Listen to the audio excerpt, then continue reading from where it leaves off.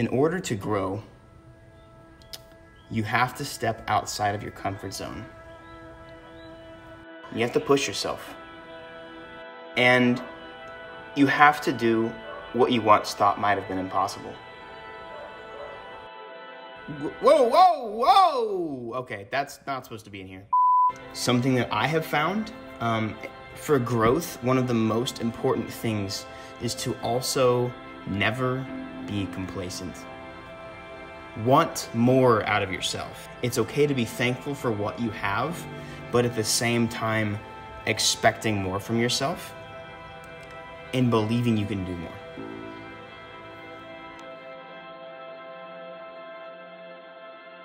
First off, I just want to say today's the day we found out about the miscarriage, so that's kind of like lingering over us right now, but we're gonna try and make the best out of it because that's what life's all about, and that's what I'm all about. 2019, thankfully, was our best year yet. And as a business owner, you should always be looking to grow. Growth is the healthiest thing for business. When I started in 2017, I didn't even make enough money to cover my rent, and it was scary. But every reinvestment opportunity I've ever had since then, I have reinvested into our business, into ourselves. Thankfully, by the grace of God, it has worked and it's gotten us to where we are today. But every year we have grown, and that is the goal.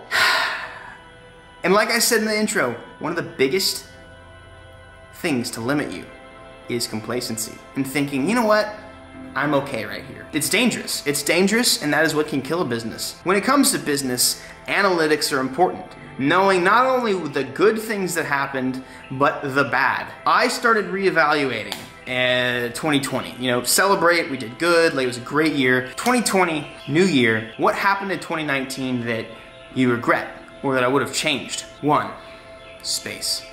I had to sell or get rid of cars because of space. I couldn't really keep race cars outside or on the street.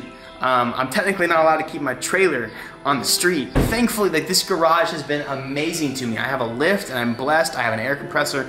Really all a normal car enthusiast would dream of. A three car garage with a lift or maybe more. But with all that I do, I've gotten to the point to where I have to move a car out from under the lift, and then I have to move all the other cars, and then I have to move my tools around just to get started for the day, and it's killing and burning a lot of time. Hello. I feel so bad because it's like you have to go to work. Imagine if you have to rearrange your whole office twice before you can get your work So here's what I've learned from that is I have had a lot of time wasters. too. another thing I learned in 2019 I have wasted a lot of time waiting for other people to do things that I can do. However, I haven't had the space. I've had some of the tools to do it, but I haven't had the space. And so I was, with all of that considered, I was like, you know what? It's time to reevaluate. It's time to reinvest. It's time to see what we can do to step it up a notch. And so our idea here is to hopefully never have to move again. I'm um, so tired of moving. I've got some stories for you. It's been a long search, and I'll explain why we got this house, but we're gonna get going. We gotta move a couple things over to the new place. If you guys follow my Instagram, you know that I love guitar. I play guitar, and it is awesome. I uh, now have, this is not even all my guitars, but, and not all my amps, nor my pedals, but we're bringing those over, some guns, pew pew, and some other stuff.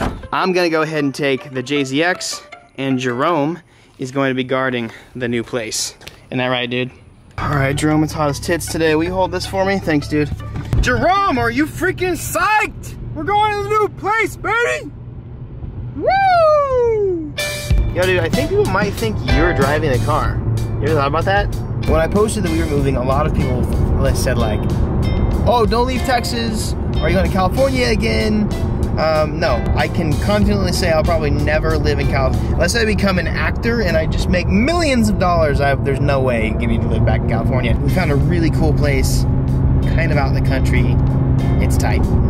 Hold up, I've never played what was in this. This, what? I've never played what was in the JZX before. What is this? Hey, let's go! This sounds like the menu music on a really bad Nintendo game from 1997. It's authentic, baby. I feel like I'm on the Fujimi Kaido right now. Dude, it's so sick out here. Oh, man. Rolling hills, dude. And... Oh, That's my neighbor's driveway.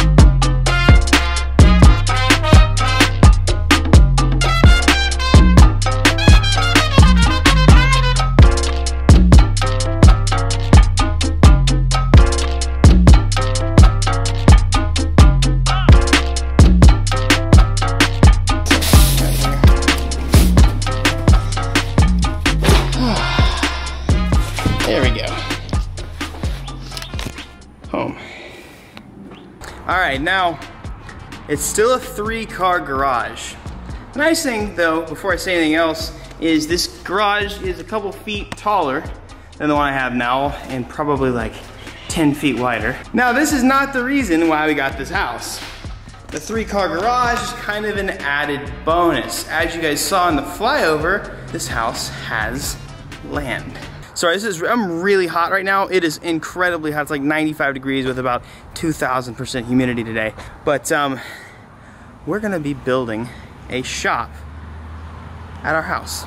It's been in the works for a little over a month now, Whew. and we're gonna try and get it as soon as possible. Now, we did just buy a house, so we've gotta do a lot more planning and stuff, but the goal is to have a shop adjacent to the garage, right back here. So shop, infinite amount of cars, as many as I can fit, multiple lifts, lots of tools, and right across from it, our personal garage with our personal cars. And I will still have a lift in here. We are gonna be getting my current lift installed in this bay so that I don't have to pause everything that I'm doing. Now I do have somebody coming to uh, lift the garage like we had to do, like the garage door has to go all the way to the roof. It's actually a wide bay. Um, single doors don't even come this wide anymore. This is a little bit older house, so it's kind of cool. It's got some really crazy cool stuff. But I'm gonna have one huge, long, wide bay for a lift right here. And then until we can figure out exactly what we're gonna do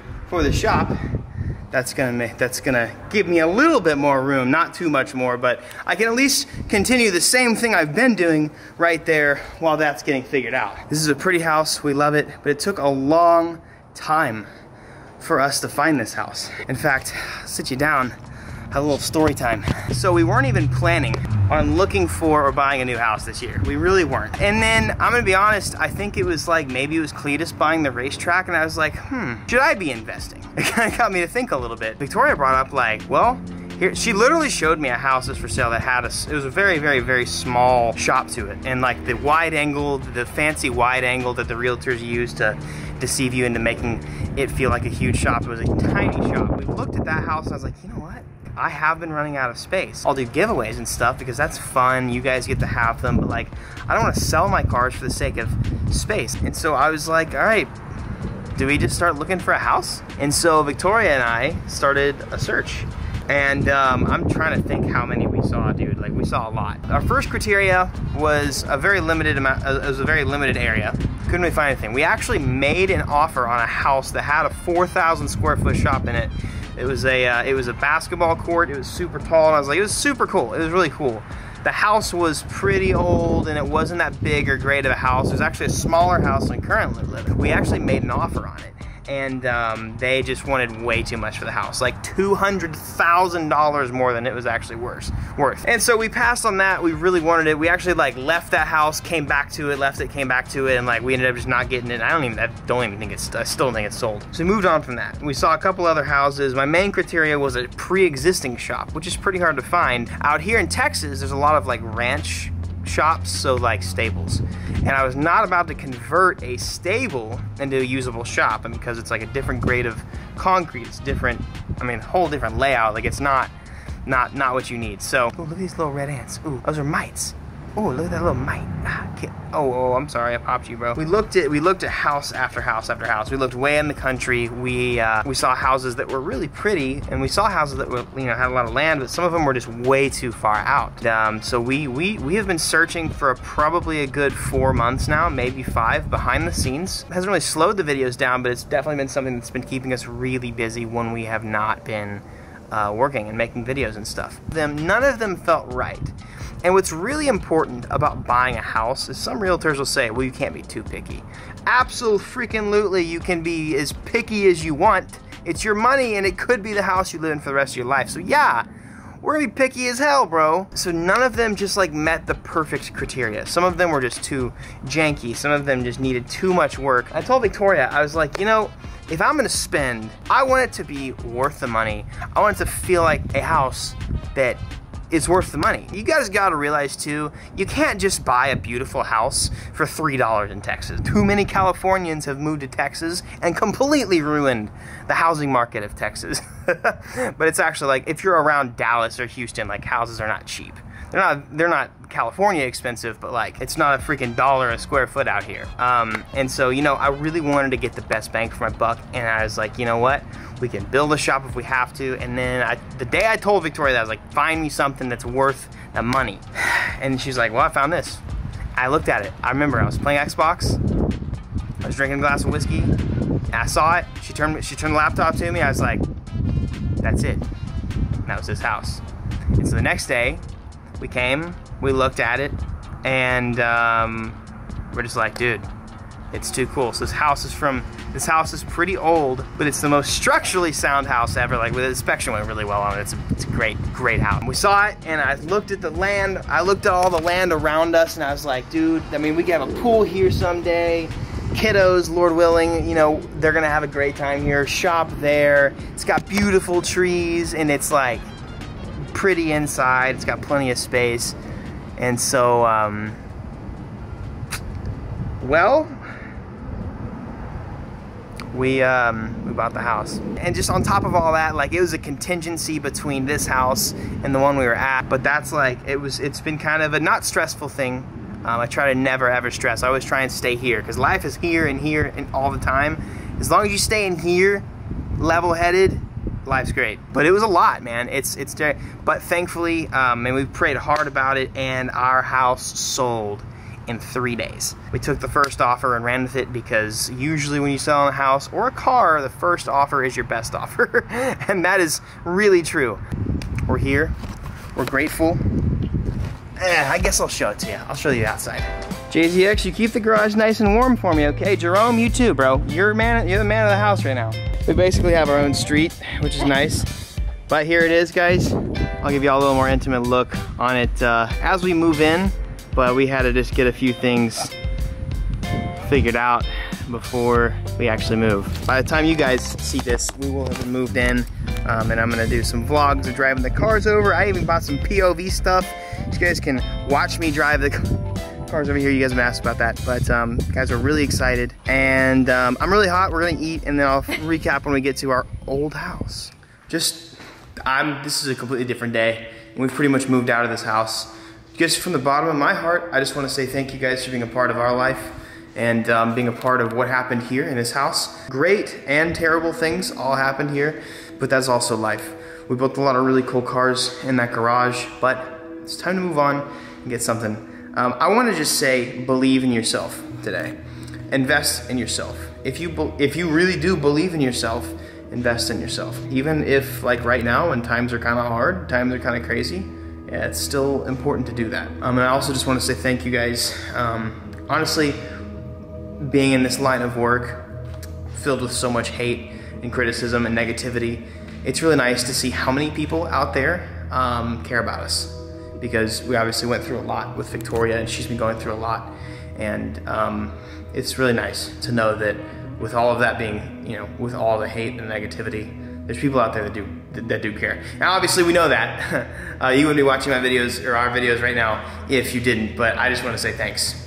It's been awesome. It's been real in this house. Like it's been an amazing house, and I'm still gonna miss it. Uh, if we could, if we could have just moved this house and plopped it somewhere else with some more land, then we probably would have. But you can't really do that. So, um, guys, I'll catch you guys later. We have a lot of stuff coming up. We have been busy. This is like days later.